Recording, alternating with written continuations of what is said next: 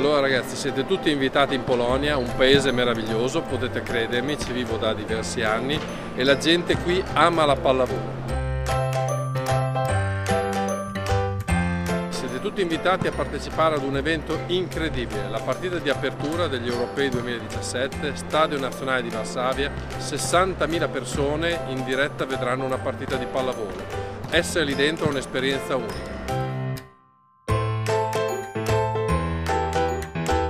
Primo appuntamento in Szczecin per la nazionale italiana di pallavolo contro la Repubblica Ceca, la Slovacchia e la Germania. Tre grandi partite.